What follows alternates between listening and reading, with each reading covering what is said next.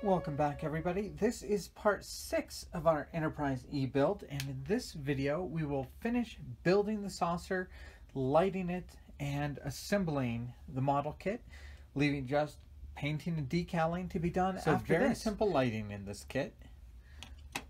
We have taken some LED strips, soldered on some leads to it, and used a little bit of shrink wrap to hold it into a circle and just glued it down to the bottom of the saucer. So simple. After that, we took our last clear parts and painted them with a very nice clear right, red. What we're going to do after that is we're going to be light blocking the saucer, um, putting on a heavy coat of gloss black, silver, then gloss white to really help block and diffuse the light. Now two things I find to be really fun on this build are two different lighting effects. We're going to take our nicely painted clear red parts and we're going to cover the part with the raised detail in black paint.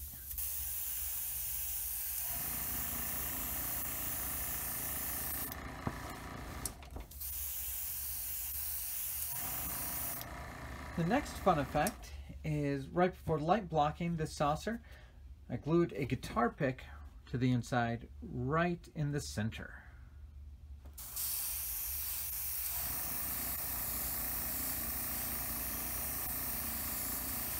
So here's our little impulse grill that we've used black paint on. I set down just a little bit of sandpaper, a little bit of wet dry sandpaper. Get it a little bit wet. And we're going to very gently sand those grills.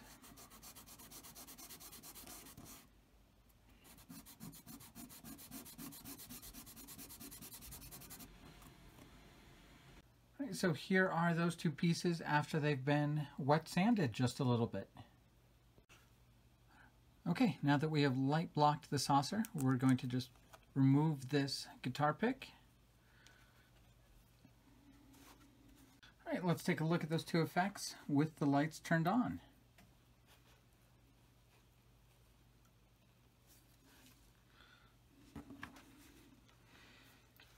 So here's that rear impulse engine.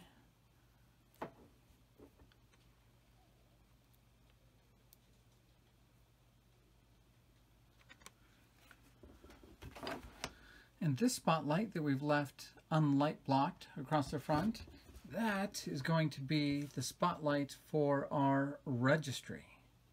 So just shining the light up from underneath, underneath the plastic.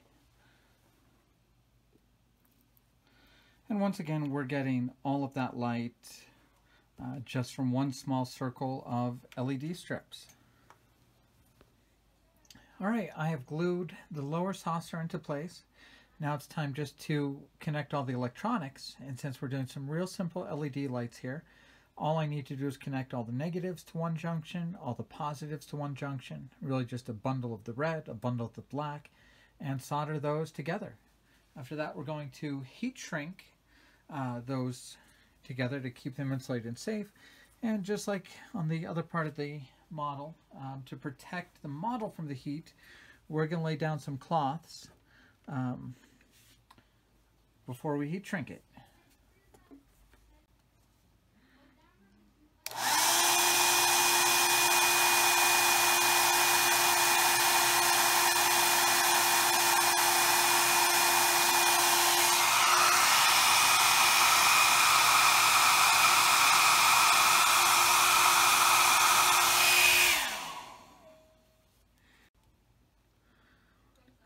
There we have some very well insulated, very secure connections um, to connect all of our wiring.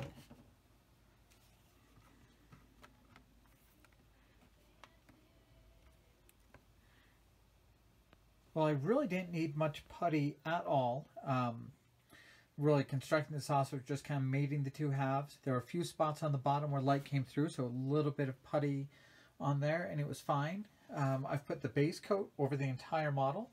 Um, while I was doing that, since I had to mask off uh, these impulse engines, um, I did the little black part right around them. Uh, but yeah, let's take a look at the ship now that she is fully constructed and all the electronics are installed. All right, there we are. Get a good look at those impulse engines.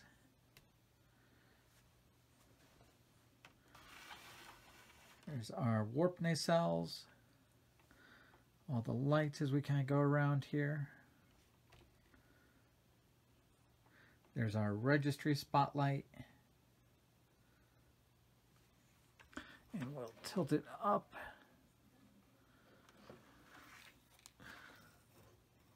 We'll tilt it up there for the deflector dish.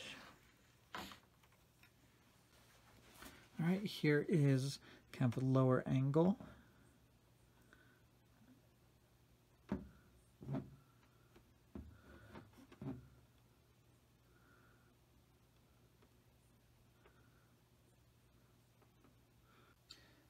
So, you know, it feels really good to have the model at this stage.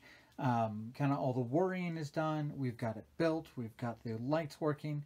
Uh, now I'm going to do a little bit of detail painting. I think on this model, it's really just the thrusters and the phasers. And after that, um, decal the ship up. Uh, but we're getting close to the end. Um, thank you guys very much for following along on the build. Um, the next video should really just be the detail painting and decaling the ship. And then we might do a final wrap up where we might compare it to the version of the ship seen in Star Trek Nemesis. Uh, but once again, thanks for watching, everybody. We'll be back soon.